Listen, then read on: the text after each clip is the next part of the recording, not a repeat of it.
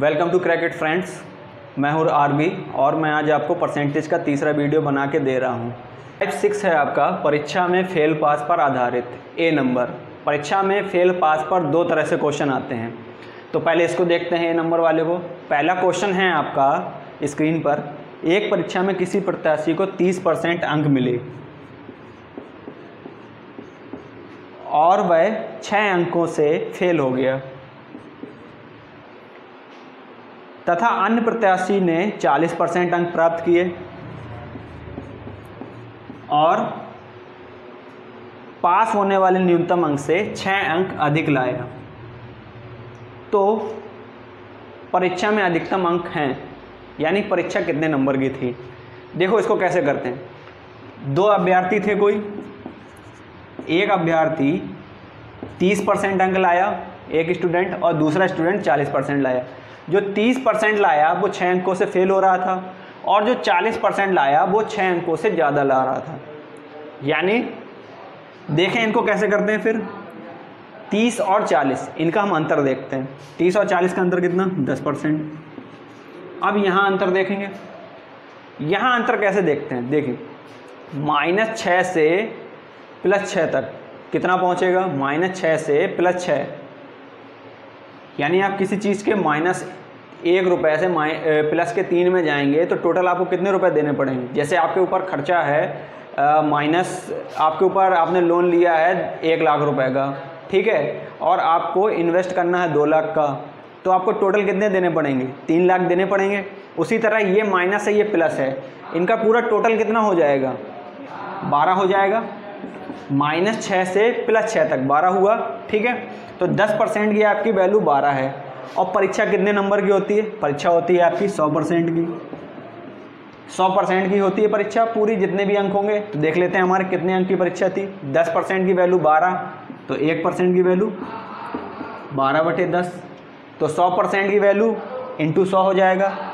ठीक है? बारह बटे दस इंटू हंड्रेड ठीक है? ये ज़ीरो से ज़ीरो कट गया, बराबर 120 120 अंकों की वो परीक्षा थी। ठीक है, समझ गए? अगला अगला क्वेश्चन है आपकी स्क्रीन पर। एक प्रत्याशी किसी परीक्षा में 20 परसेंट अंक ला के तीस अंकों से फेल हो गया। ठीक है? और एक अन्य प्रत्याशी 32 परसेंट अंक ला के पास होने वाले न्यूनतम अंकों से 42 अंक अधिक प्राप्त करता है। ठीक है? तो यहाँ कितने का डिफरेंस होगा? 12 का। और यहाँ फिर से वही माइनस तीस से प्लस बयालीस तक। यहाँ ऐड होता है पूरा। कितना हो जाएगा? तीस और बयालीस कितना? बहत्तर। ठीक है? तो यानी बारह परसेंट की वैल्यू बहत्तर, एक परसेंट की वैल्यू बहत्तर बटे बारह। ठीक है? और सौ परसेंट की वैल्यू बहत्तर बटे बारह इंटू हंड्रेड। बारह छंग बहत्तर और इंटू सौ यानी छः सौ। छः सौ नंबर की वो परीक्षा थी और पूछ क्या रहा है कि पास होने के लिए न्यूनतम प्रतिशत कितना होना चाहिए। 600 अंकों की तो परीक्षा थी ना। क्या था कि 600 अंक में ये 20 परसेंट अंक लेके आ रहा था और 30 नंबर से फेल हो रहा था। अगर हम ये 30 नंबर इसको दे दें तो ये पास हो जाएगा। देख लें कैसे करते हैं। 600 का 20 परसेंट निकाला। 600 का आप 20 परसेंट निकालेंगे, कितना आएगा? एक 10 परसेंट कितना होगा? 60 20 परसेंट 120 ठीक है? 120 नंबर जब उसके आ रहे थे तो वो कितने अंकों से फेल हो रहा था? 30 नंबर से। अगर हम 30 नंबर और दे दें तो पास हो जाएगा। यानी हमने 30 और दे दिए। कितने? डेढ़ सौ। डेढ़ सौ नंबर चाहिए उसको पास होने के लिए। डेढ़ सौ नंबर पास होने के लिए चाहिए। लेकिन क्वेश्चन में पूछ क्या रहा है कि पास होने के लिए न्यूनतम प्रतिशत। ये प्रतिशत में तो नहीं है परसेंटेज में नहीं है, ठीक है? लेकिन हम निकाल सकते हैं। परीक्षा टोटल 600 की थी और उसके आए डेढ़ सौ। यानी पास होने के लिए चाहिए थे नंबर डेढ़ सौ और परीक्षा थी 600 की। तो डेढ़ सौ छः सौ का कितना प्रतिशत है? तो डेढ़ सौ बटे छः सौ इंटू हंड्रेड डबल ज़ीरो से ये डबल ज़ीरो कट गया, इसको काट दो। छः दूनी बारह छः पंचे तीस। पच्चीस परसेंट उसको चाहिए। यानी कोई भी अभ्यर्थी होगा, जो पच्चीस परसेंट लेके आएगा, वो पास हो जाएगा। ठीक है? यहाँ तक तो समझ में आ गया होगा। अंतर निकालते हैं। यहाँ ऐड हो जाते हैं वो। ठीक है? हंड्रेड परसेंट की वैल्यू छः सौ। ये क्या था? ये टोटल थे। यानी 600 नंबर की टोटल परीक्षा थी। 100 परसेंट का मतलब क्या है? कुल योग। कुल 600 पर 600 नंबर की परीक्षा थी। डेढ़ सौ नंबर चाहिए तो उसको न्यूनतम पास होने के लिए। अच्छा आप कहेंगे, हम इससे क्यों, इससे भी निकाल सकते हैं? ठीक है, इससे भी निकाल सकते हैं। आप 600 का बत्तीस परसेंट निकाल दीजिए। जो आएगा, उसमें बयालीस नंबर घटा देंगे। और बयालीस जब आप घटाएँगे तो डेढ़ सौ ही आएगा। ठीक है, समझ गए? अगला क्वेश्चन करें। अगला क्वेश्चन आपकी स्क्रीन पे।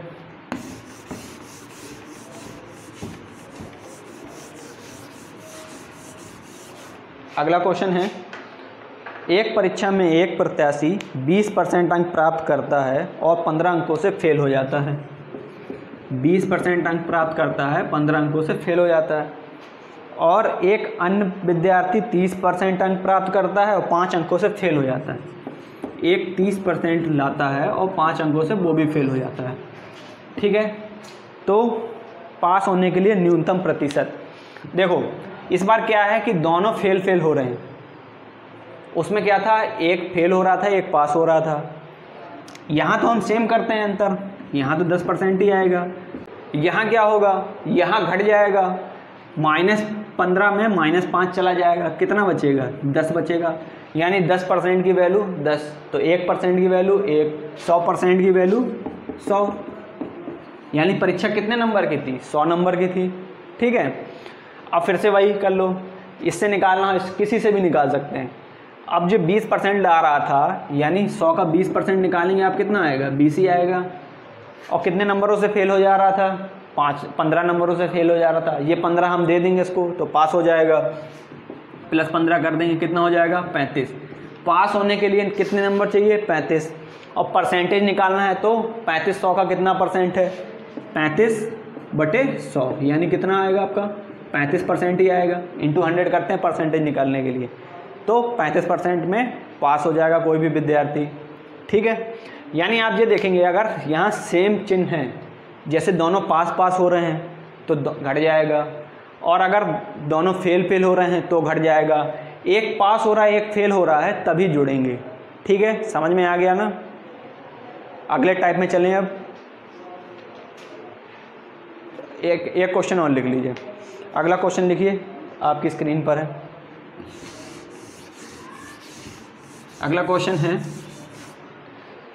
प्रत्येक प्रश्न एक अंक वाले 80 प्रश्न की एक परीक्षा में अर्पिता पहले 40 प्रश्नों के पैंसठ परसेंट सही उत्तर देती है और देती है और पूरी परीक्षा में पचहत्तर परसेंट अंक पाने के लिए शेष 40 प्रश्नों में कितने परसेंट सही चाहिए? देखो 80 नंबर की परीक्षा थी, अस्सी प्रश्न की परीक्षा थी और सबका नंबर एक एक मतलब सारे का नंबर एक एक था, ठीक है? उसमें क्या था? प्रथम चालीस में वह कितना परसेंट सही देती थी? पैंसठ परसेंट तो सही उत्तर देती थी, ठीक है? और उसको टोटल चाहिए सेवेंटी फाइव परसेंट यानी उसको पूरी परीक्षा में पिछहत्तर परसेंट अंक चाहिए थे। पूरी परीक्षा में 80 नंबर की परीक्षा थी, उसमें पचहत्तर परसेंट अंक चाहिए थे। पहली परीक्षा में, पहले 40 में वो पैंसठ परसेंट अंक लाती है। तो दूसरे में वो कितना लाए? कैसे करेंगे? देखिए 80 का पचहत्तर परसेंट पहले हम देख लेते हैं हमको नंबर लाने कितने हैं। ठीक है? 80 का पचहत्तर परसेंट निकाल लें। ऐसे भी कर सकते हैं बताया था। का का मतलब गुणा होता है। जितना परसेंट निकालना उतने का गुणा करते हैं। पाँच से काट दीजिए, तीन बार, ये चार बार, चार से काटेंगे, ये दो, ये बीस बार। ठीक है? साठ। यानी उसको टोटल नंबर चाहिए साठ। साठ क्वेश्चन उसको सही करने हैं। पहले में क्या करती है, वो पैंसठ परसेंट सही करती है। तो पहले चालीस में इसका पैंसठ परसेंट निकाल लें, चालीस गुड़े पैंसठ बटे सौ। ये ज़ीरो से, ये ज़ीरो गया, दो से कट गया, दो बार, ये पाँच बार, पाँच से आप काटेंगे, पाँच एकम पाँच पाँच तीन, पंद्रह, और तेरह दूनी छब्बीस। छब्बीस प्रश्न वो सही कर रही है पहले चालीस में। तो अब उसको इस चालीस में कितने कितने प्रश्न सही करने ही पड़ेंगे कि टोटल उसका साठ हो जाए। तो साठ में घटा दीजिए साठ में आप छब्बीस घटा दीजिए, कितना आएगा? चौंतीस आएगा। यानी इस चालीस में उसको चौंतीस क्वेश्चन सही करने ही करने हैं, तभी उसका कितना परसेंट बनेगा? पिछहत्तर परसेंट बनेगा।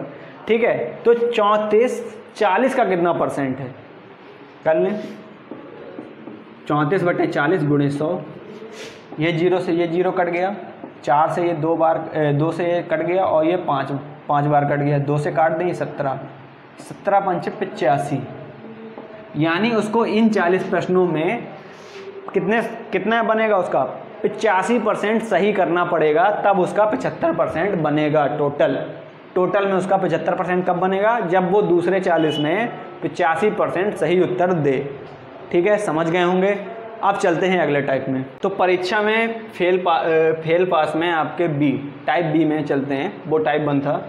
इसमें क्या होता है कि एक फार्मूले से लग जाता है। बहुत ही सिंपल क्वेश्चन है। ठीक है? अनुत्तीर्ण प्रतिशत बराबर 100 माइनस प्रथम में, यानी दो सब्जेक्ट देगा आपको। प्रथम में उत्तीर्ण या अनुत्तीर्ण परसेंटेज देगा, और सबसे मेन बात है, परसेंटेज में ही आंसर आता है, ठीक है? प्रथम में उत्तीर्ण माइनस द्वितीय में उत्तीर्ण, और प्लस दोनों में उत्तीर्ण। अगर यहाँ अनुत्तीर्ण है तो यहाँ उत्तीर्ण होंगे सारे के सारे। इतना समझ लीजिए, ठीक? पहला क्वेश्चन लिखिए। पहला क्वेश्चन है आपका, किसी परीक्षा में साठ परसेंट छात्र अंग्रेज़ी में उत्तीर्ण हुए, सत्तर परसेंट हिंदी में हुए, और चालीस परसेंट दोनों में हुए तो दोनों में अनुत्तीर्ण की संख्या है। ठीक है? सिंपल है। दोनों में अनुत्तीर्ण की संख्या पूछ रहा है परसेंटेज में ही आंसर आएगा इसका। सौ माइनस पहले सब्जेक्ट में कितने हुए थे? आपके साठ। ठीक है? दूसरे सब्जेक्ट में सत्तर हुए थे और दोनों में कितने हुए थे? चालीस उत्तीर्ण हुए थे। ठीक है? सौ और चालीस, प्लस प्लस के हैं, एक सौ चालीस और साठ और माइनस सत्तर, ये दोनों माइनस माइनस के हैं, क्या हो जाएगा? एक सौ तीस।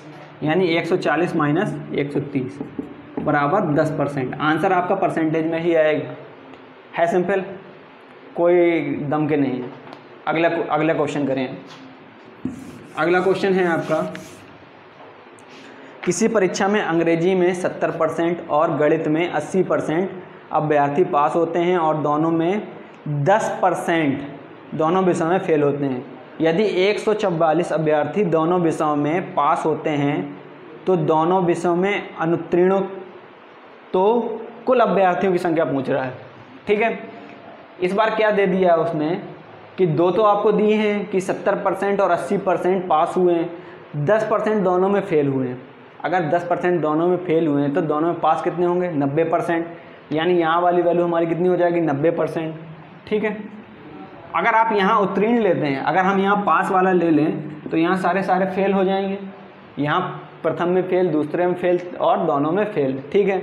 तो अगर अंग्रेज़ी में सत्तर परसेंट पास हो रहे थे तो फेल कितने होंगे? तीस परसेंट, ठीक है? अगर गणित में अस्सी परसेंट पास हो रहे थे तो फेल कितने होंगे? बीस परसेंट। और प्लस दोनों में कितने परसेंट फेल हो रहे हैं? दस परसेंट। ये हो गया आपका एक सौ दस, और ये कितना हो गया? पचास। कितना आया? साठ परसेंट। दोनों में साठ परसेंट पास हो रहे हैं, ठीक है?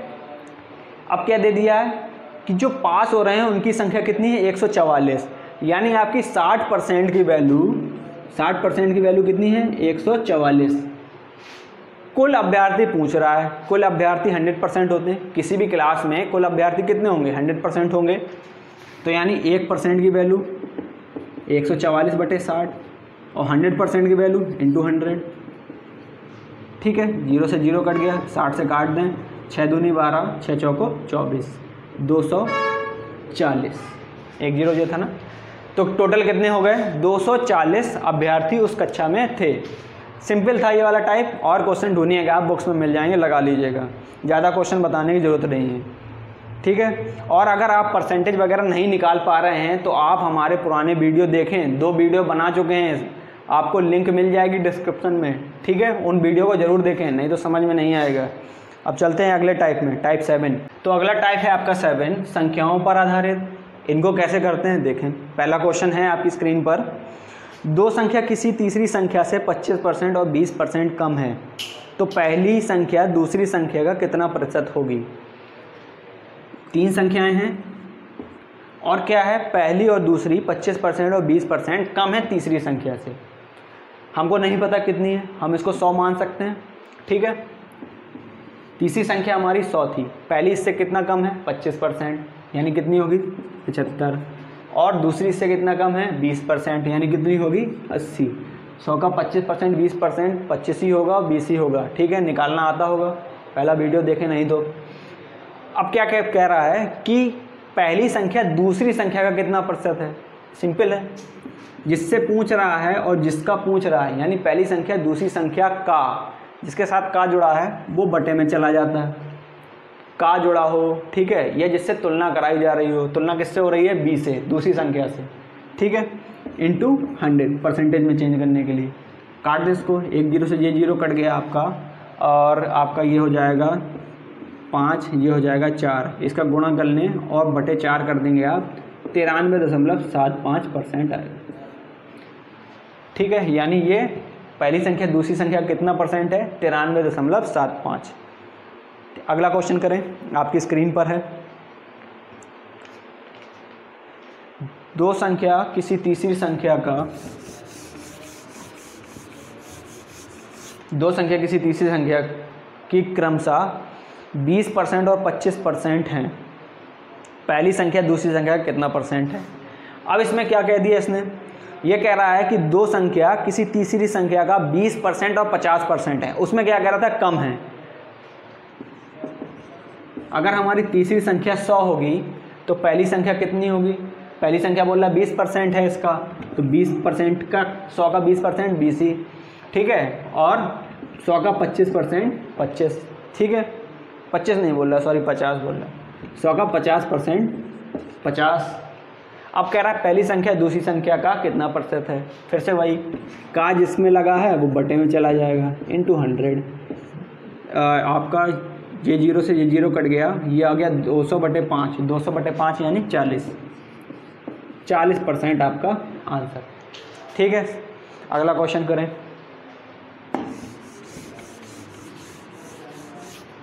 अगला क्वेश्चन है, यदि किसी संख्या के पिछहत्तर परसेंट में पिछहत्तर जोड़कर वही संख्या प्राप्त होती है तो वो संख्या क्या थी? किसी संख्या के पिछहत्तर परसेंट में अगर हम पिछहत्तर जोड़ें तो वही संख्या प्राप्त होती है। हमारी संख्या x थी। x के पिछहत्तर परसेंट में अगर हम पिछहत्तर जोड़ दें तो क्या होगा? x ही प्राप्त होगा। x संख्या थी, माना हमने संख्या x थी। उसके पिछहत्तर परसेंट में पिछहत्तर जोड़ दिया तो वही संख्या प्राप्त हो गई। ठीक है? इसको काट लें। ये तीन, ये चार बार। ये चार क्या होगा? उस तरफ़ चला जाएगा। ये थ्री एक्स है।